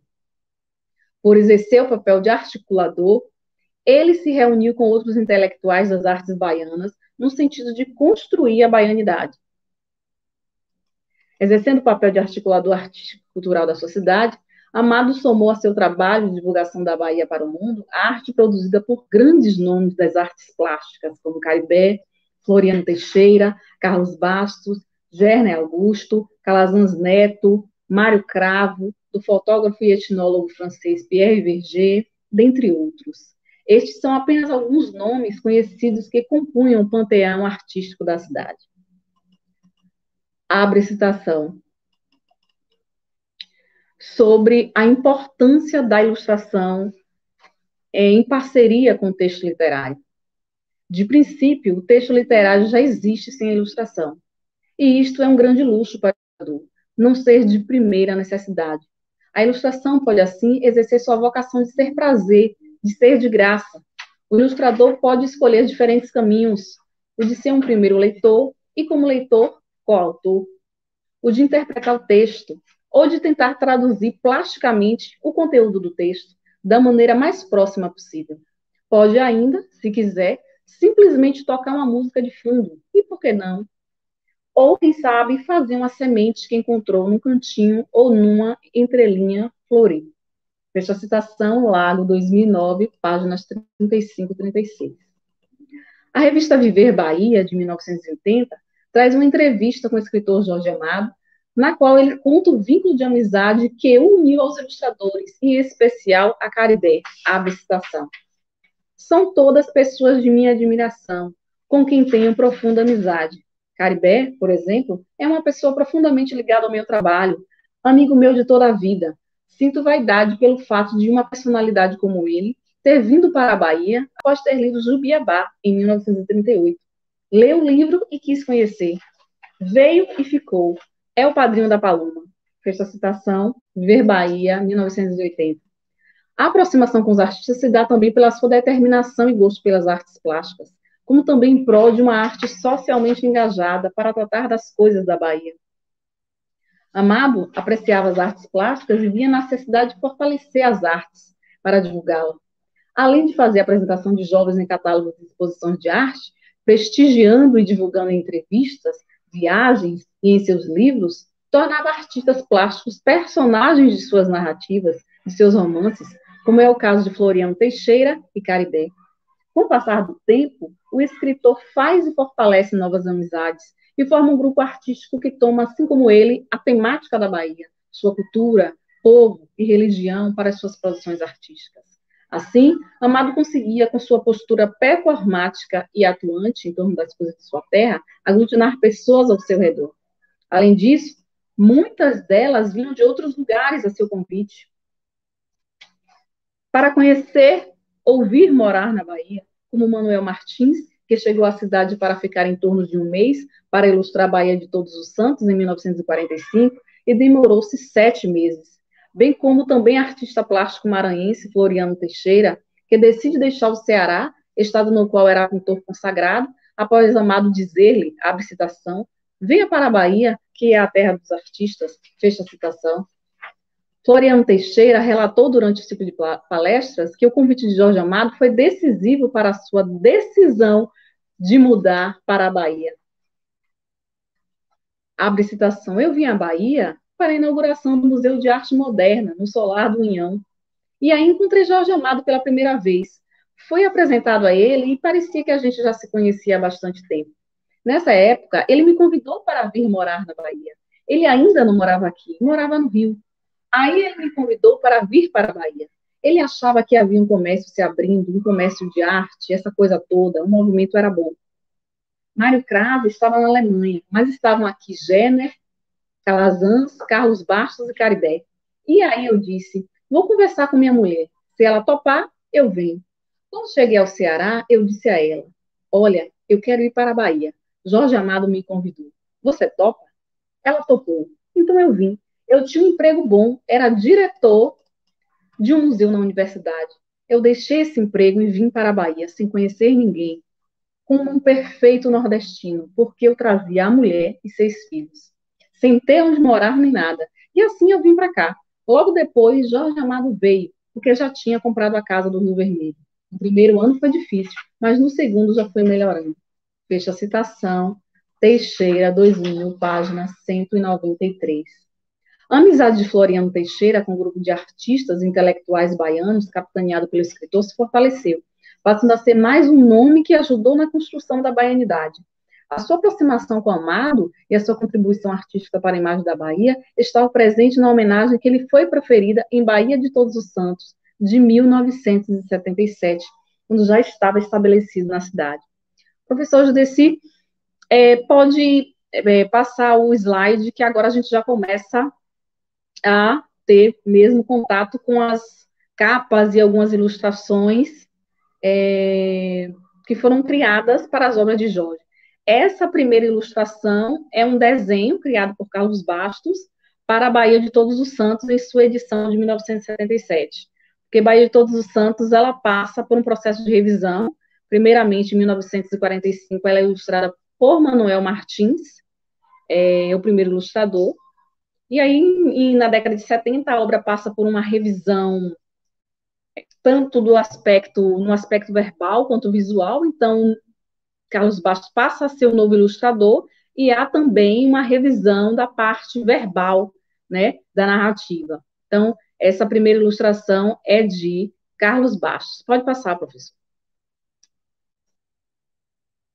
Aqui a gente tem um compêndio com as diversas capas de Jorge, né, as diversas obras, que são muitas, em diferentes edições. E aí eu vou dando continuidade para a gente ir acompanhando essa a riqueza desse trabalho. A amizade de Floriano Teixeira com um grupo de artistas intelectuais baianos capitaneado pelo escritor se fortaleceu e ajudou na construção da baianidade. Em 1977, Amado faz uma fala sobre a vinda de Floriano Teixeira para a Bahia, em Bahia de Todos os Santos. Nasceu no Maranhão, viveu no Ceará, onde plantou raízes fundadas, terminou na Bahia e aqui se transformou finalmente num artista profissional conhecido e proclamado, sendo um dos maiores desenhistas brasileiros de todos os tempos. Na Bahia, conquistou a pintura com paciência, enorme talento e rara consciência artística. Sua obra é de comovente beleza. Enriqueceu a humanidade baiana, engrandeceu nossa arte, deu-lhe a dimensão, o gosto do detalhe. Certos quadros seus são trabalhos de um miniaturista, esse índio do Maranhão, esse baiano do Rio Vermelho, é um ser extremamente civilizado. Veio da floresta, mas por vezes dá a impressão de ter chegado da Renascença. Amado, 1977, páginas 285 286. Pode passar, professor. Essa é a, a primeira edição de Cacau, né, ilustrado por Santa Rosa que já foi falado inicialmente, pode passar.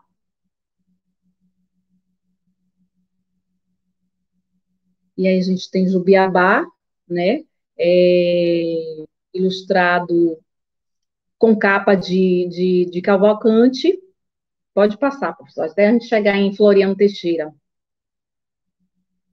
A gente tem uma das ilustrações de Caribé para Cajubiabá, porque a capa foi feita por Di Cavalcante, mas as ilustrações no interior do livro foram feitas por Caribé.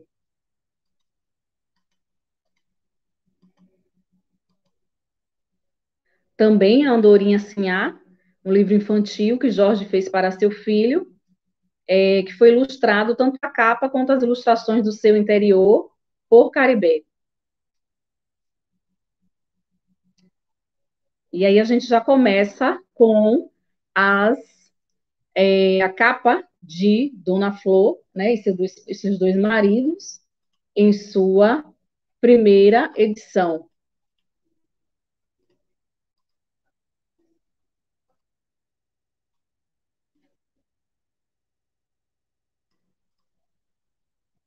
Que é uma capa de Clóvis Graciano, né, um dos ilustradores também de Jorge.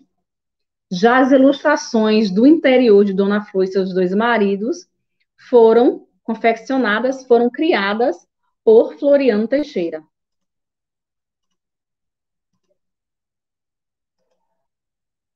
Floriano Teixeira se lembra de sua experiência em vir para a Bahia, de ter entrado em contato com a narrativa de Amado, primeiramente através da leitura de Capitães da Areia, da amizade que lhe devotava, de ter recebido Dona Flor e seus dois maridos para ilustrar, por opção do escritor, mas não por uma exigência editorial.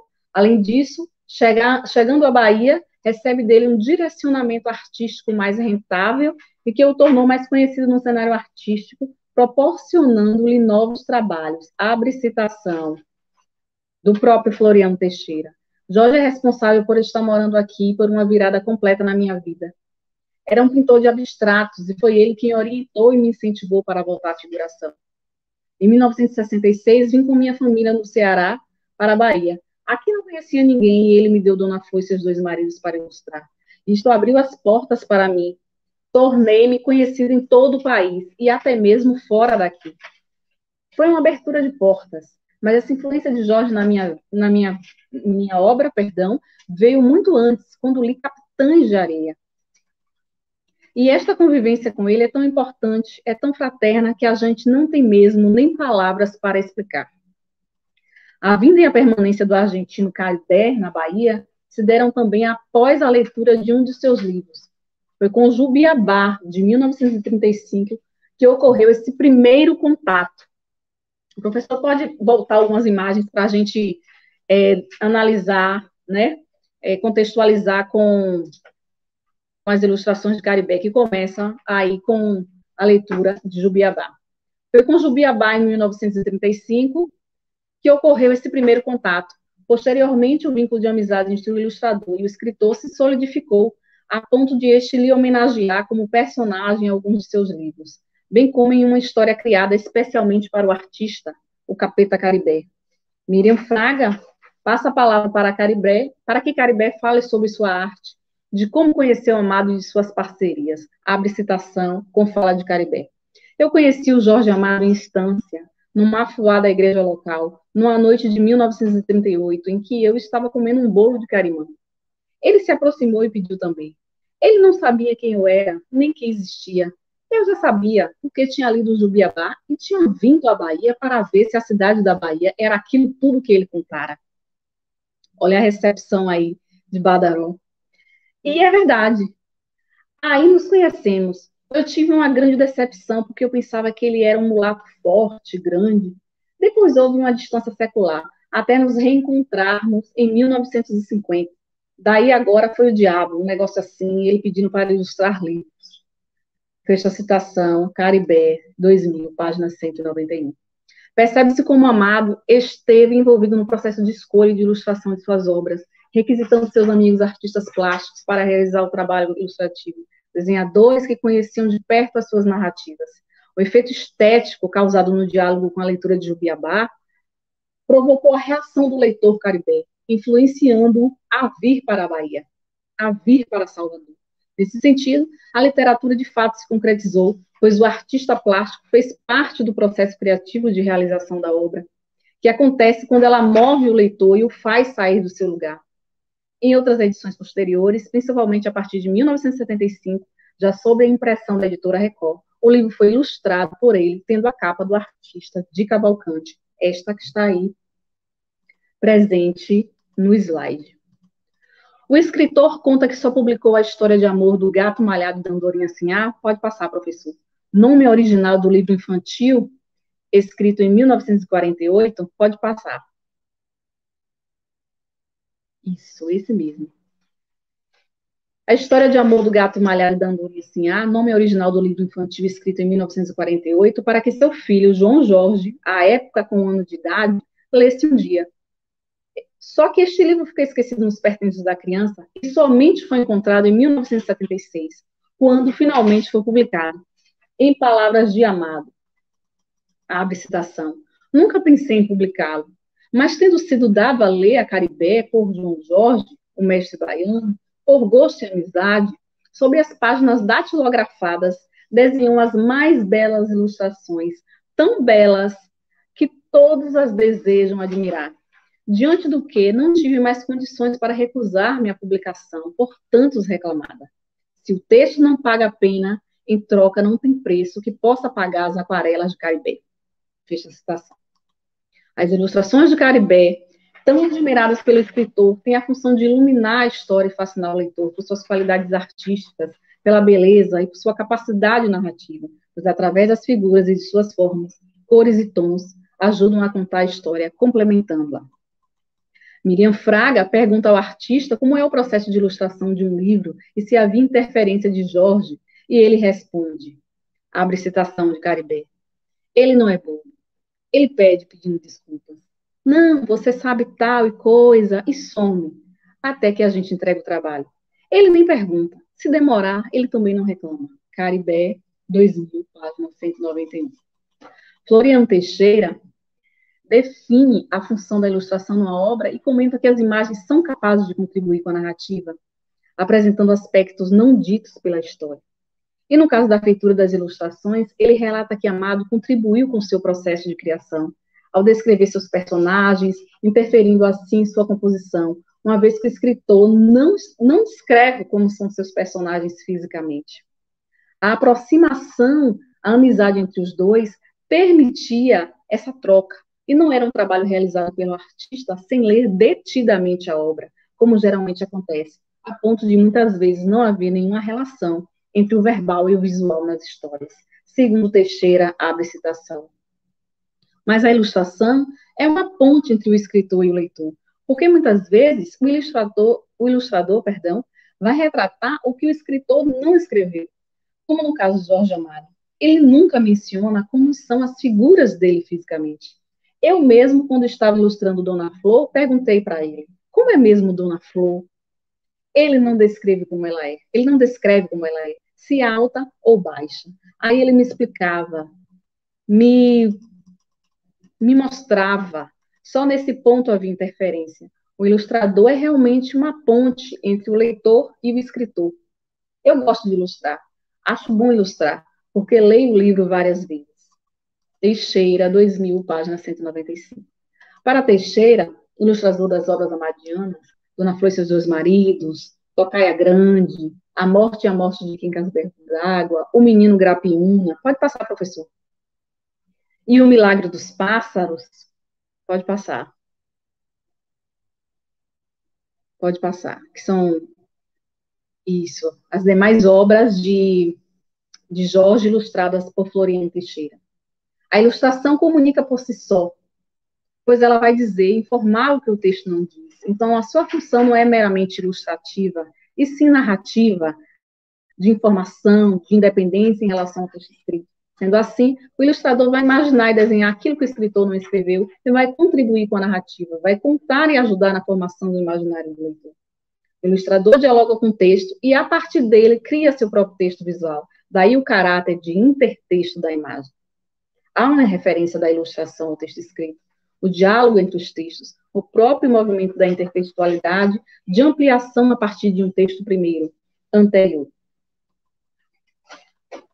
A feitura das ilustrações parte da leitura do texto escrito para saber o conteúdo da narrativa, produzindo, portanto, as trocas intertextuais que acontecem também pelo intermédio do escritor, que se envolve em alguns momentos e, de alguma maneira, no processo de criação dessas imagens, seja opinando, seja descrevendo ou até sugerindo para o ilustrador. As ilustrações que acompanham o texto ficcional, seja romance, poesia, etc., são chamadas de ilustrações literárias, porque são criadas a partir da obra literária, que é interpretada e narrada pelo ilustrador, que empresta seu olhar para contar a história, perdão, através do aparato visual.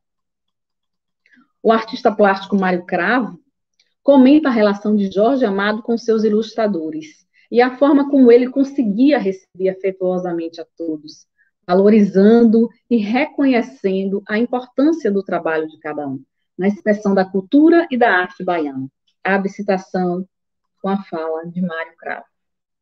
Eu gostaria de chamar a atenção de vocês para algo que é óbvio, mas não é dito.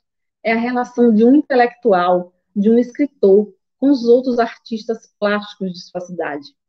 É uma coisa tão cara. Jorge e nossa geração. Por exemplo, a amizade com Caribé, fortuita, que chega depois. Jorge levou um grande período da sua vida fora da Bahia. Sua atividade política fora do Brasil, seu retorno à Bahia, quando a nossa geração já estava andando como artistas plásticos. Então, houve uma espécie de reaproximação, e o que é fundamental, me parece, é vocês assistirem cinco, seis pessoas daqui dessa cidade, extremamente ligadas, não só à cidade, como a um dos grandes, senão o maior intérprete da sua cidade, o maior intérprete dessa cidade, em termos de literatura, que é Jorge Amado. A ilustração é uma forma complementar. Ela tem uma validade autônoma como objeto de arte e é complementada na sua função de conviver com a obra de um escritor, de um poeta, de um criador fecha citação, Cravo 2000, página 198. Cravo fala sobre o sentimento de integração que o escritor promovia ao recepcionar e formar um grupo composto por artistas das mais diferentes vertentes artísticas, que frequentavam a sua casa para reuniões frequentes e que se uniram para criar uma imagem identitária para Salvador, estando todos ligados ao mesmo propósito, sendo o escritor o grande mentor dessa, abre aspas, ideia de Bahia, ou ainda o maior intérprete dessa cidade, como ele afirma. A aproximação aos artistas se dá também pelo gosto pelas artes e por seu projeto deliberado de fortalecê-las, e como também a literatura local, de tratar das coisas de sua terra, de disseminar a cultura afro-baiana e popular, temática largamente desenvolvida também pelos artistas que gravitavam ao seu redor. Para o artista plástico, além de a ilustração possuir características de ter uma validade autônoma, é complementada quando convive com outra expressão artística, como a literatura, acompanhando-a em sua função comunicativa e estética. A função da ilustração seria trazer uma informação adicional a algo que já existe, de ser um complemento, de acrescentar, diferentemente do sentido de completar, de ser um complemento, de, perdão, de acrescentar, diferentemente do sentido de completar, de trazer significado e preencher algo que está vazio, incompleto. Sobre essa função da ilustração no interior de uma obra literária, salienta a escritora e ilustradora Angela Lago.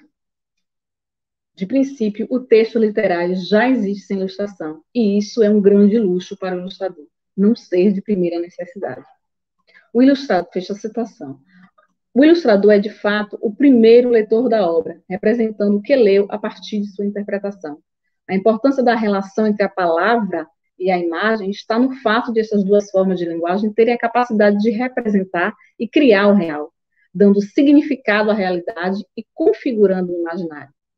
O resultado desse diálogo altamente eloquente numa obra é transmitir uma mensagem não contraditória, pois ambas as formas de expressão precisam ter o mesmo propósito enunciativo, ainda que comuniquem de maneira diferente, mais ou menos, por possuírem qualidades diferentes também. É, sobretudo, uma relação de colaboração, de complementariedade, pois a imagem ilustrativa aqui não é conhecida, não é concebida como adorno para embelezar o livro. Ao contrário disso, é percebida como um trabalho desenvolvido em conjunto que tem uma finalidade específica em busca de um sentido comum. E no caso das ilustrações de Jorge Amado, em alguns momentos e para algumas obras, ele opinou e sugeriu para garantir essa coesão. Nessa relação de colaboração, os dois diferentes códigos vão se ajudar mutuamente e dar conta de expressar ou de acrescentar informação dentro das suas possibilidades de enunciação. Dessa maneira, a articulação entre textos e imagens vai permitir a construção de um discurso único sobre um tema, um personagem, um povo e um lugar. Por isso que o discurso de toda a geração de artistas clássicos e de Jorge Amado acerca do que é a Bahia surgiu tão perfeito, pois o sentido foi garantido através da palavra e da imagem nos seus livros, como também nas outras formas de expressão, como a fotografia, a música, a tapeçaria, as esculturas, as telas, os painéis, etc. O artista Carlos Bastos conta no ciclo de palestras como se deu seu encontro com Jorge Amado em fins dos anos 40 e o seu processo de criação das ilustrações para a obra madiana. Abre citação de Carlos Bastos. Eu conheci Jorge Amado de uma maneira muito simples.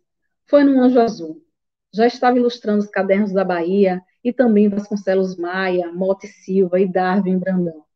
Devia ser mais ou menos em torno de 1948, 1949, quando, vi, quando vim a conhecer Jorge Amado pessoalmente, e ele me convidou para fazer algumas coisas para ele, mas não ilustração. Minha relação com Jorge Amado começou de uma maneira muito especial, porque eu tive uma paralisia e não tinha como conseguir dinheiro para sobrevivência. E Jorge ia lá em casa, pegava meus quadros, vendia, e assim eu conseguia o dinheiro. E a amizade a ele se tornou mais forte por causa da ajuda. Vocês sabem que ele é mais que solidário. Bastos 2000, página 197, fecha a citação. Carlos Bastos é um dos pioneiros do movimento modernista plástico na Bahia, formando com Mário Cravo, pioneiro da arte moderna baiana, Lenário de Carvalho e Caribé, um grupo que desenvolveu a arte muralista local, dedicando à realização de painéis que hoje compõem o imaginário do povo da Bahia. Em 1943, quando retornou dos Estados Unidos, fez uma mostra individual na Biblioteca Pública da cidade de Salvador. No Salão Brasil-Estados Unidos, em 1944, faz a sua primeira exposição. Do ímpeto libertário com um Abastos e Amado, que também vivenciara perseguições às suas obras, surge o convite por parte do escritor para que o artista plástico ilustrasse com seus desenhos Bahia de Todos os Santos, Guia de Ruas e Mistérios, de 1977, a 17ª edição. Pode passar, professor, slide. Aí ainda é Floriano Teixeira, com o Milagre dos Pássaros, pode passar.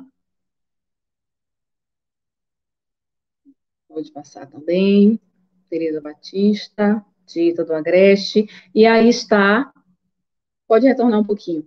Bahia de Todos os Santos, Guia de Voos e Mistérios, é, que primeiramente foi ilustrada por Manuel Martins em 1945, com capa de Clóvis Graciano. Aí a gente tem a edição reatualizada, tanto em seu texto verbal quanto no seu, no seu aspecto visual, com as, já com as ilustrações e capa de Carlos Bastos. Então, ele faz a capa e faz as ilustrações do interior do livro.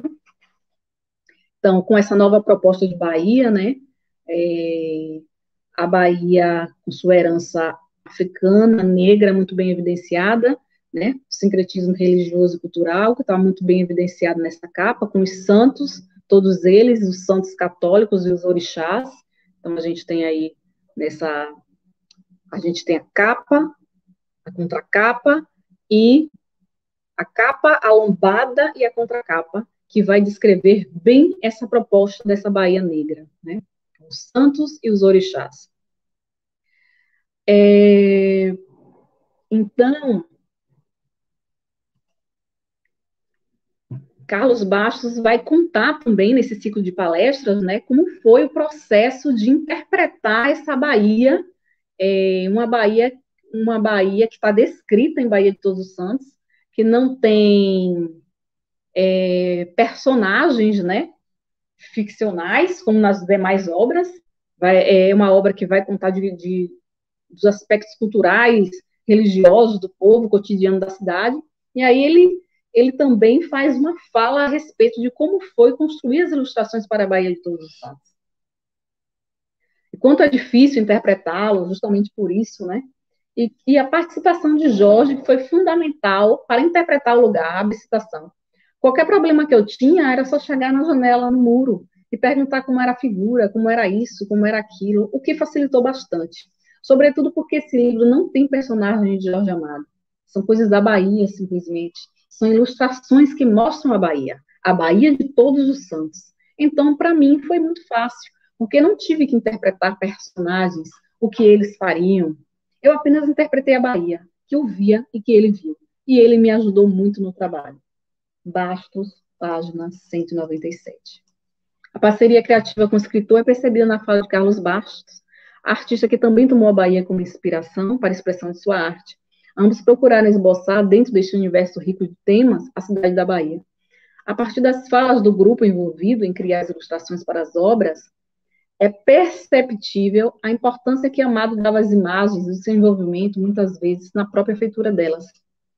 Ao opinar, sugerir, quando perguntado, sendo um trabalho de parceria entre o escritor e o ilustrador. Para a Bahia de Todos os Santos, Guia de Ruas e Mistérios, 17ª edição de 1977, Carlos Bastos cria desenhos figurativos representando em suas composições a forma como o objeto, a forma como o objeto é visto, com a finalidade de representar a cidade de Salvador. Deixa eu dar um saltinho aqui por conta do tempo. Falando um pouquinho da primeira edição de Bahia de Todos os Santos, é, a obra foi muito bem recebida à época, com grande entusiasmo pela imprensa, não só por ser um guia escrito por Jorge Amado, mas também por contar com o trabalho do artista plástico paulista Manuel Martins. As estilogravuras monocromáticas de traço da arte impressionista, expressionista, perdão, vão encontrar ao chegar à Bahia uma cidade histórica em ruínas, com a cultura e o povo vivendo à margem, estes temas lhe foram caros para suas composições. A estilogravura é uma antiga arte, originada na China, que significa gravura em madeira, em que o artesão usa um pedaço de madeira para gravar um desenho em relevo.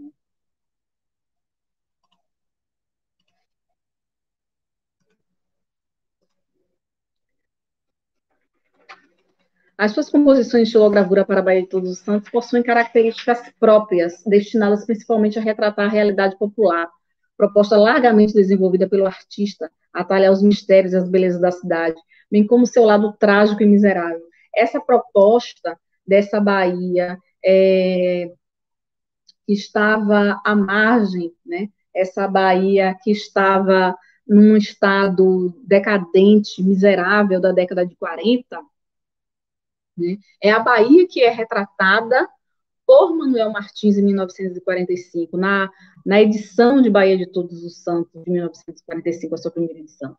Essa edição é, de Carlos Bastos vai retratar uma Bahia festiva, uma Bahia alegre, uma Bahia colorida, né? uma Bahia de uma religiosidade plural, com seus santos e orixás, todos eles santos, é, é, é, na visão amadiana e de, do, dos próprios habitantes né, da cidade, enfim, por conta do sincretismo cultural e religioso. É, então, é uma nova proposta de Bahia, a proposta de Carlos Bastos, diferentemente da edição de 45, que vai demonstrar, a, a, vai trazer uma imagem de uma Bahia degradada, de uma Bahia que vivenciava a fome, a destruição dos velhos casarões, é, do Pelourinho, né, dos sobrados antigos, enfim, uma profundidade dramática, né, de uma realidade social deplorável, né, é, alegorizada pela fome, né, por esfarrapados, né, é, por prostitutas, saveristas, desempregados, pessoas que estavam à margem daquela sociedade.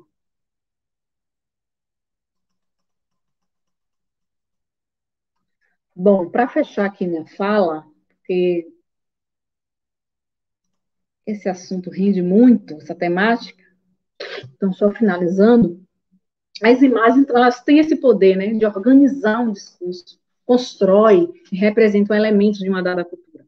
A forma de ler essas informações sobre a cidade de Salvador parte desse pacto de representação da realidade, de um significado construído em torno de uma ideia de Bahia, abre aspas, das representações culturais compartilhadas com os leitores que recebem esses textos verbal e visual, que dialogam entre si. Esses artistas, juntamente com Jorge Amado, são responsáveis por criarem uma imagem em torno da Bahia, permeadas de significados que atravessam o contexto de época, de construção desses discursos. Trata-se de um poderoso acervo documental e memorialístico que fundamentou o imaginário baiano, abrigando uma historicidade que se propaga no tempo através das imagens escritas e visuais de Amado, de Vasconcelos Maia e do grupo de artistas plásticos baianos, quanto das imagens sonoras com as músicas de Dorival Caymmi, João Gilberto, dos tropicalistas, em especial Caetano Veloso e Gilberto Gil, dos novos baianos. Jorge Amado tem uma intenção deliberada com esse grupo de artistas plásticos, pintores, ilustradores, escultores, etc. Tapeceiros, cantores, compositores, pessoas que, através de materialidades diferentes, tiveram o mesmo olhar e falaram todos em nome da Bahia, enunciando o mesmo discurso sobre a cidade, seu povo, sua cultura e identidade. São essas narrativas que fortalecem e singularizam o lugar, construindo a sua memória e, consequentemente, uma imagem identitária que representa uma unidade, principalmente no que tange à imagem da Bahia enquanto Salvador, né? É uma imagem própria de Salvador, né? Que foi construída, apesar da imagem de Salvador muitas vezes no imaginário nacional e internacional se estender para toda a Bahia, quiçá o Brasil, né? São imagens que fundam a nação Bahia e que tem muito de ficcional na construção da baianidade, do imaginário baiano, nesse intenso jogo dialógico e criativo próprio de quem faz arte, seja ela escrita, visual ou sonora, e em especial a arte de Jorge Amado, esse universo que encanta através das imagens enunciativas, que são as palavras e as ilustrações. Fecho aqui a minha fala, que se alongou um pouco mais. Mas, enfim, não teria como sem trazer as, as, as próprias falas, né, dos ilustradores, nessa relação deles com a obra de Jorge, se alongou um pouco, me desculpem. Mas finalizo aqui. Bom, Professora Tatiane, não sei se eu posso falar aqui rapidinho.